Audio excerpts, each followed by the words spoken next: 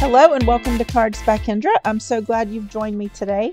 I'm sharing how I made 15 cards using the Crafty Courtyard kit called Freezing Season and the Puppy Love stamp set, which are both subscription products from Pink and Main, and these are from December of 2021.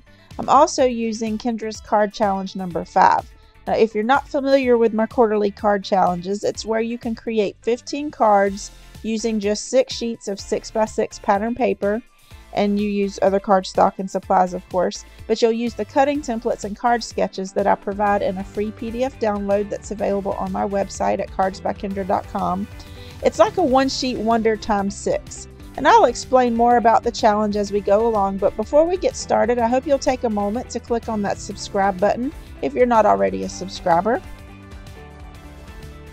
So this is the Pink and Main Crafty Courtyard Kit. It's called Freezing Season, like I mentioned before, and it was from December of 2021. I'll quickly show you what comes in it. It's got this see-through mesh zippered pouch, which is great for storing all of your crafty goodies. Uh, the card insert shows the contents of the kit along with the color palette theme, which is great for matching up your card stock. Two 6x6 holographic papers, some glitter enamel dots, and some matching sequins this embossing folder here called Quatrefoil.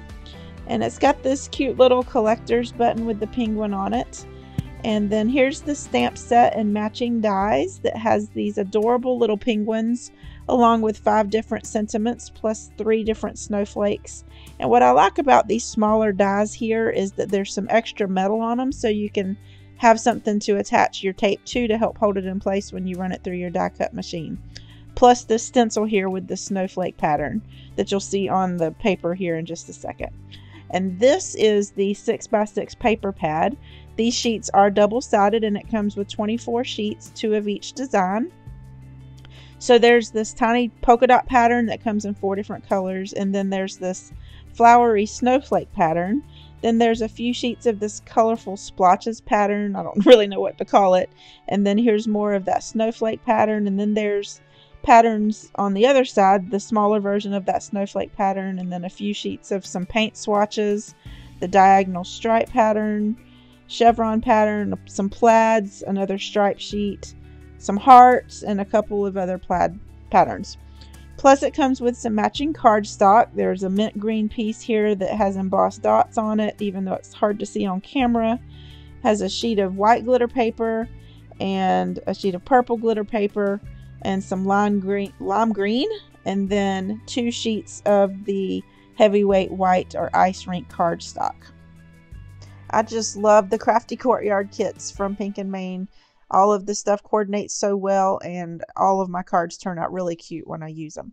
So here are the cutting templates that are included in the PDF file that's available for download. In my introduction video for Challenge 5, I show how to cut the papers using these cutting guides and I'll link that video above and in the description box below if you want to check that out after you're done watching this video. But here are the six papers that I picked to use for this challenge. I made sure that at least one side of the double-sided paper matched what it would be paired with by looking at the card sketches and they are color-coded so it's easier to see what pieces go where but I'll show you both sides of what I've assigned for papers A through F. But it is best to use non-directional paper so you don't have to worry if the pattern will be facing a certain way when you put these together. Now for paper E, I use the heart pattern and I know I want to use that for card sketch 10 so I'll just have to pay close attention to how I cut this piece. Once you assign your papers, you'll want to select matching colored cardstock for the layers and make 15 A2 size card bases. Then you'll want to cut the six papers using the cutting templates and sort each piece by sketch number. I like to use cellophane bags so I can see what I'm working with. And then you'll cut the layers needed for each card sketch using matching colored cardstock. Now once you have that done, then you can decide how you want to decorate each card using either stamps, die cuts, ephemera, or whatever you have. And most of all, have fun. So all of those steps that I just mentioned, I did all that off camera. So now I have everything ready to go to put together. And so I'm going to share the process with you. So in addition to the stamp set that came in the Crafty Courtyard kit, I'm also using these Love from Lizi peel off stickers in the teal and raspberry colors to help embellish the cards. And I'll be using the December Stamp of the Month stamp set called Puppy Love, which is super cute. And this is also one of the subscriptions. This is the Stamp of the Month.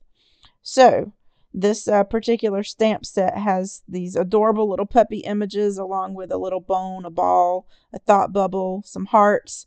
But I'm also going to be using the sentiment stamp set from Pink and Main because I needed some other types of cards for this particular set. And I just love this stamp set because it has such a variety of sentiments. It's probably one of my most used stamp sets of all time because these sayings fit inside circles and squares and other types of shapes. And I like to use those on my card sketches. So now I'm going to show the process of putting together each of the cards.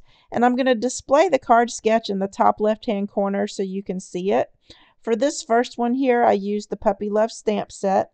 All of the images have already been colored using Copic markers and cut out using my Fiskars Spring Assist scissors. I did not purchase the matching die set that went with this Puppy Love set. But you'll see me use this Scotch Advanced Tape Glider or ATG gun, I guess is what it's called, for the very first time. And I just, you'll see me switch over to liquid glue. My mom gave it to me and I never used it, and I thought I'd give it a try. I'm not used to it at all and I was having a little bit of trouble with getting it to come out smoothly. So you'll see that I switch over um, and I don't really use it for the rest of the the rest of the video. But I also wanted to mention that I used some paper scraps to add to the backs of some of the pieces on these cards as I'm making them so that they're level on the card. But for most of the cards, I used some Nuvo Crystal Drops in Morning Dew because it dries clear and it just gives a little bit of shine. And I also used some Stickles Glitter Glue in Ice Glaze and that just adds a little touch of glitter. So I won't be putting that up on the screen each time, but I do pretty much use those on all of the cards. You'll also see me using those glitter enamel dots that came in the kit. I'll use some of the sequins and then some matching bows. Um, I've used tape runners in the past with making my cards, but um, I quit using those because some of the cards came apart over time. But it could be because it was a cheap brand. Um, but it could also be the humidity here in Florida. I'm not really sure, but I'm curious.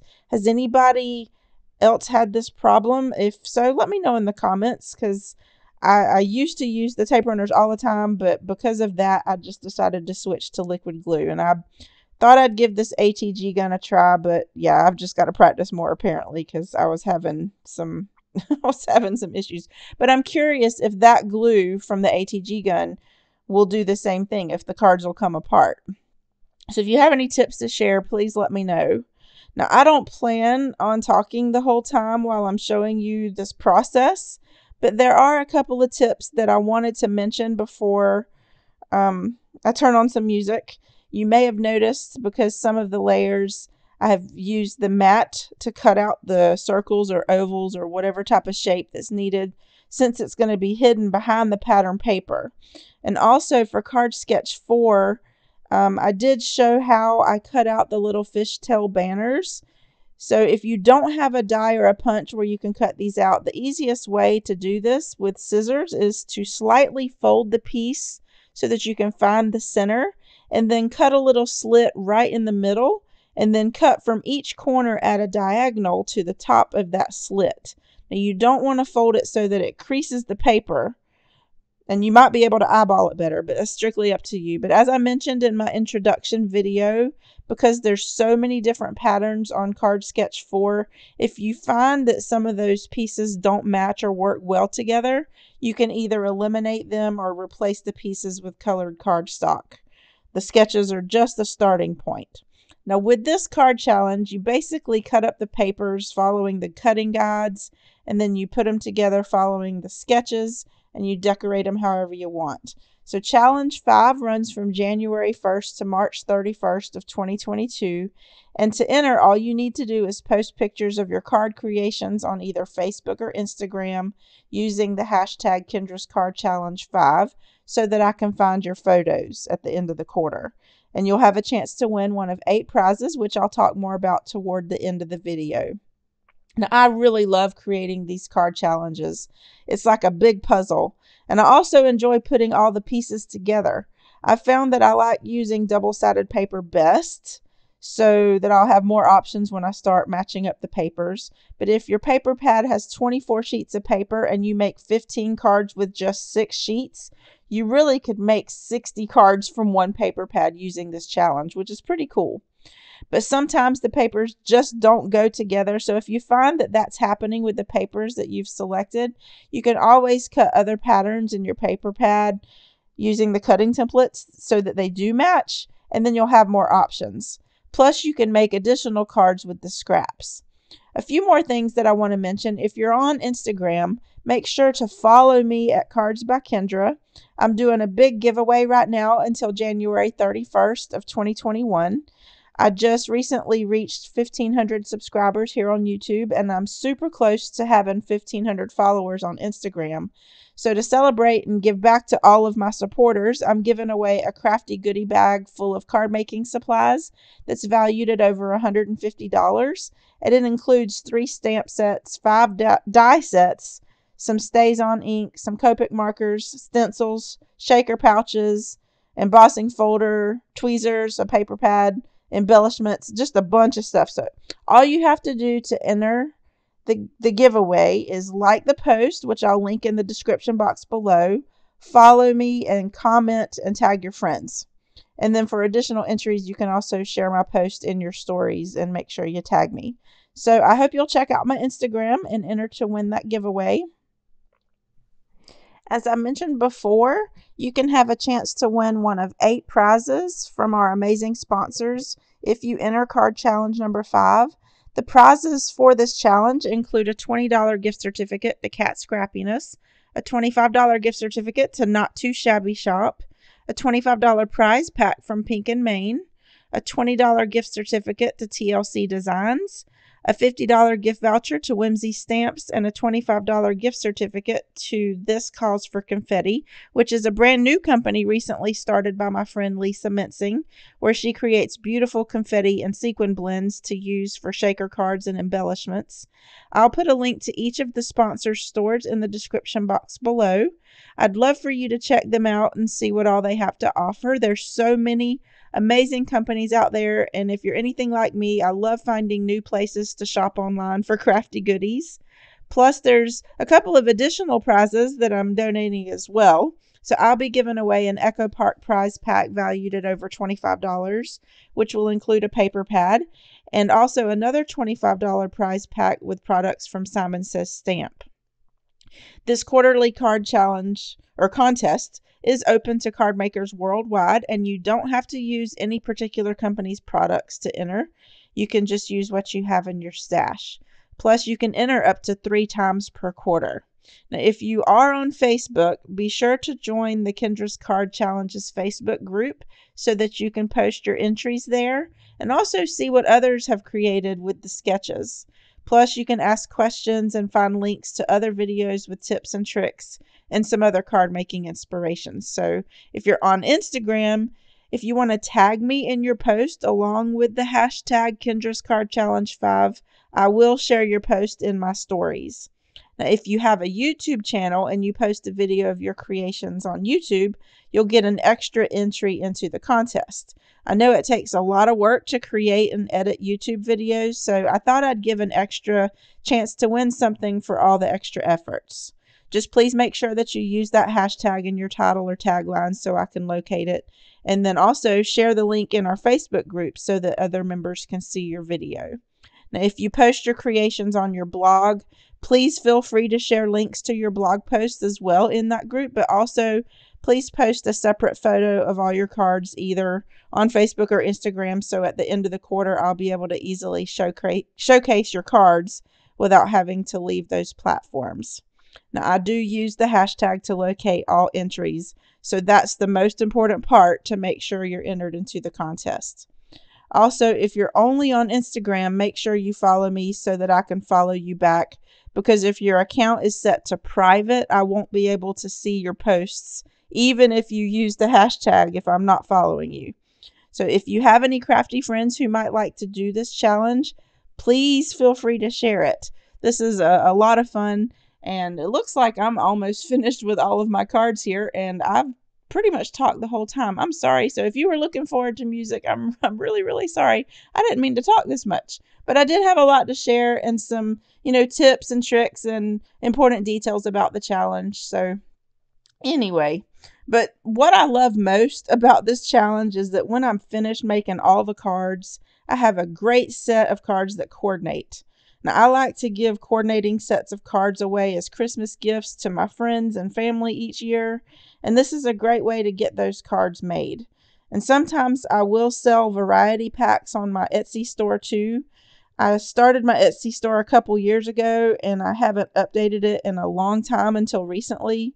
It is called Papercraft Hut if you want to do a search for it and check that out. I will put a link in the description box. But um, if you're new to my channel and you're not familiar with me and what I do for my day job, I am a high school business and technology teacher. I've been a teacher for seven years, and before that, I had my own online craft business. And I'll show share more about that in my next video.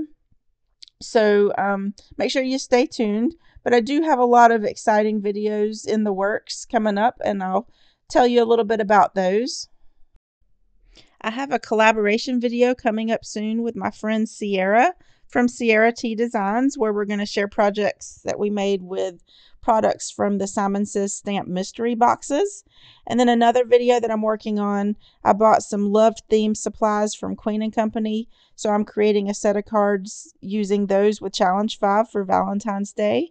And I'm also going to be sharing more Valentine's Day cards using the Not Too Shabby Sweet Valentine Wishes paper pad and ephemera that I just got in the mail yesterday. So it's super adorable, and I'm pretty excited about sharing those with you in the next few weeks. Now, over the past year, I have purchased a ton of supplies, many that I haven't even used. So I do plan on doing a big D-stash here on my YouTube channel as well. So stay tuned if that's something that you'd be interested in. So here are all 15 cards that I made using the December 2021 subscription products from Pink and Main. I think these turned out super cute, but I can't decide which one is my favorite. Let me know in the comments below which one you like best. I'd also love to know what types of videos you enjoy watching the most.